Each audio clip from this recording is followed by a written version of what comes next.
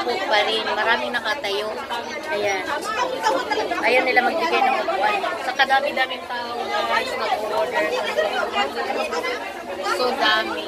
Tapos ako guys, dito ako kumain para madali. Yan guys. Dito ako sa lababo kumain. Wala na nga nang guys dito sa lababo. Kasi kung hintayin mo yung iba dyan, ay tapos na, nagsiselfon.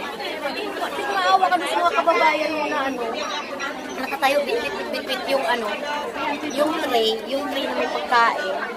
Yung may isa nga. No? Tapos ako kumain, siya hindi pa nakatapos dot-dot. Tapos yung pinggan na sa kanya, wala naman siyang kakain, kakainin. So, para madali guys, mapas mo tayo. Dito na ako sa lababo, ayan o. Oh. sabi. I don't care guys. Kaya tingnan mo, ganun kadami guys.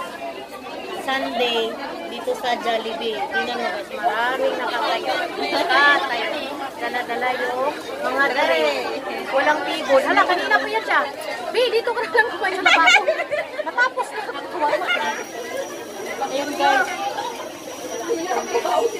Ganyan. Pag-cowboy cowboy na na, ganyan. Kapuno pag Sunday. Ano yan, vlogs? Hi!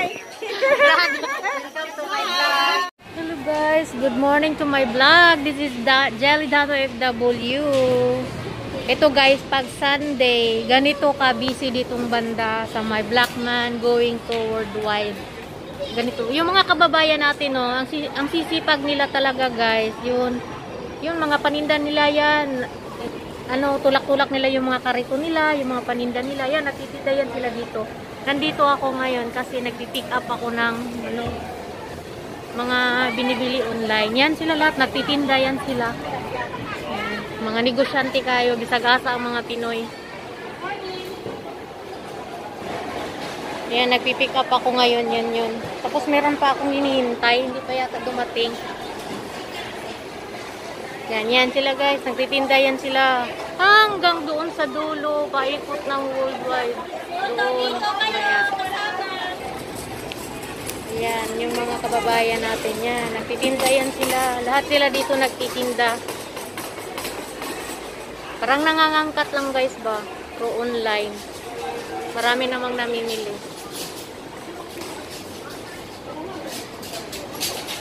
Tingnan mo guys. Siksi kayo na Guys pero nagtutulak ng kariton. Kasi kailangan kumita tayo, sila. Diba? Kayo, siksi kayo, magtutulak kayo inang kariton. Sila, tingnan mo guys. O, oh, diba? Ang sisipag ng mga kababayan natin. diba? Yan.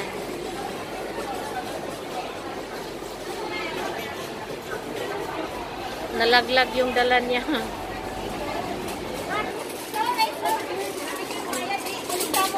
Pag Sunday guys, business time. Pag Sunday, business time. Business time. Ayun, yung mga police ba guys, nakabantay. Pero ang babait nila guys dito, kasi galing nung road doon, naka-close pati dito, kinlose nila para sa mga OFW natin. Para walang madisgrasya. Sinasara talaga nila dito every Sunday. Ayan. Ayan, si ate oh taas ng total niya sa listahan niya. mga namimili niya na saan na kaya. eh ako, kanina po akong naghintay dito. Ayan. Ayan guys, nandito ako ngayon kasi magpipick up ako ng ko. Tingnan mo yung mga kababayan natin. Ang sisipag talaga nila guys, kahit saan. Diba guys, kahit siksing-siksi guys. Ayun pa guys, oh, may siksing-siksi guys. Pero nagtutulak ng kariton, paninda niya yan guys. Ayun guys, oh, tingnan mo. Oh, yan. Oh, yung mga siksi kayo. Oh, di ba? Magnegosyo kahit saan. Itong road na to, galing doon at saka dito sa kuan, sinasara talaga nila to para safety lahat ng mga kababayan natin. Mga negosyante pa sila kahit saan. Yan. Yan. Nagtitinda yan sila guys through online. Tapos every Sunday ang pick up. Kaya dito sila. Yan. Ba, ang sisipag ng mga OFW na mga Pilipino. Sabi niya, hello vlog. Ay, gwapa kayo guys. Oh, na, negosyante kayo guys. Yun.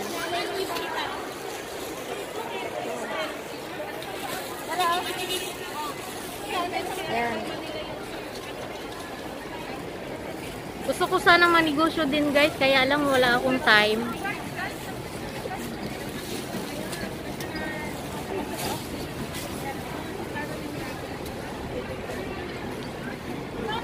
Yan, di ba? Ang sisiksi nila. Tapos magninegosyo. Hindi sila nahihiya para lang kumita tayo, di ba? 8.30 in the morning, Sunday guys. Ganito kabisi ang worldwide. Yung mga ka-OFW nating nagtitinda. Busy. Busy sa paghahanap buhay. Akala nyo madaling kumita ng pera, no? 8.30 pa lang ngayon. Busy-busy na. Galing pa ako doon sa kabila. Mamaya-maya, mga 10, puno na ng tao. Mahirap na dumaan. Imatikan. Si ating nagtitinda ng brilliant. Mga, mga, negosyante. Dito sa hagdan din guys. Lahat dito nagtitinda yung nandito sa hagdan. Ah, wala pa. Mamaya guys, yung hagdan na yan, mapuno yan sa ano, mang manicure, mang hilot. Mamaya, maaga pa kasi. Mamaya, maya. Lahat-lahat ng mga pangpaganda. Mga racket-racket. racket-racket. Ayan si ate. Akala mo bag lang malita dala niya pero paninda yan. Biko. Biko yung paninda. yan, Biko. Yung isa pa, yung iba pa guys, bilo-bilo. Yung nakamaleta kasi huli ng pulis eh. Ganon, nakamalita yan. Akala mo nagta-travel, no? Mga paninda yung nasa loob. Mga kakanin, mga drinks. Oh, iba din yun doon sa may Blackman, mga ano doon, mga dry goods doon dito. O kahit ano-ano, mag-ikot-ikot yan sila. Dala-dala yung malita. Yung mga, kahit anong mga kakanin tinitinda nila. Ganon, ganon. Ganon kahirap maghanap ng pera dito. Walang hiya-hiya. Ba? Para lang tayo kumita, para ipapadala natin sa pamilya natin. Ang hirap kaya kumita, no? Isipin nyo, yung mga pamilya nyo dito, sa trabaho, kaya kayo dyan, bigyan naman ninyong halaga yung pamilya rin nyo dito nang dito nagtatrabaho para sa kinabukasan ng mga anak at pamilya. Yan. Yan, paninda nila guys, pampaganda.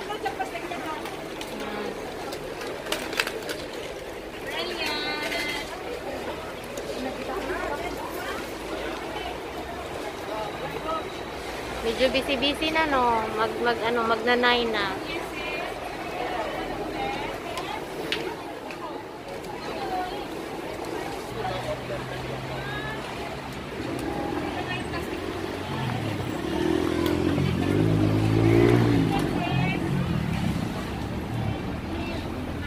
Ang ganda ng weather, guys. Ganda ng weather, ganda ng langit. Oh.